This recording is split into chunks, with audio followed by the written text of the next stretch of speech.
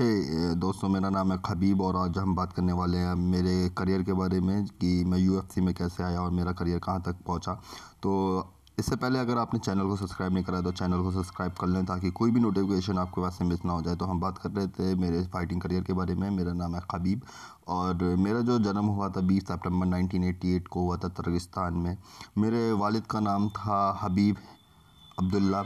اور وہ ایک آرمی آفیسر تھے اور آپ تو جانتے ہیں آرمی والے کتنے ٹف ہوتے ہیں، تو انہوں نے جو اپنے گڑ تھے وہ سارے میرے اندر بھر دیے۔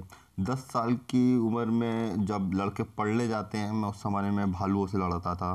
اور میرا دو منزلہ گھر تھا، نیچے والے بیسمنٹ میں ابا نے ہمارے جم کھول دیا تھا۔ میرے ساتھ اور بھی لڑکوں کو ٹریننگ دیا کرتے تھے۔ جب میں سترہ سال کا ہو گیا تو میں نے جوڈو اور بلیک بیلٹ میں مہارت حاصل کر لی تھی۔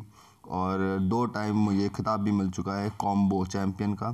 جی یو ایف سی میں آنے سے پہلے میں اسٹریٹ فائٹ کرا کرتا تھا۔ دو ہزار آٹھ میں میں نے اپنا ڈیبیو دیا تھا ایم ایم اے میں اور چار میچز لگاتار جیتے تھے۔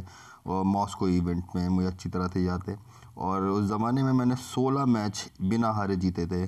اور پھر اس کے بعد یو ایف سی نے مطلب کہ مجھے ایک میچ کا آفر دیا جس میں سے چھ میچ بنا چھ میچ کی سیریز تھی اور میں سب کو جیت گیا۔ اور اس کے بعد ہم بات کریں اگر تو آج تک میں نے ستائیس میچ جیتے ہیں اور ایک میں بھی نہیں ہارا ہوں۔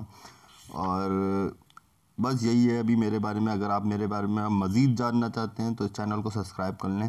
میں آنے والے ویڈیو میں بتاؤں گا میرے پاس بینک بیلنس کتنا ہے، میری لائف اسٹائل کیسی ہے، میری بیوی کا کیا نام ہے اور میری آگے کا گول کیا ہے۔ تو اس چینل کو ضرور سبسکرائب کر لیں۔ جب تک مل گے آپ سے دوسری ویڈیو میں، بائے، اپنا بہت خیال رکھیے گا۔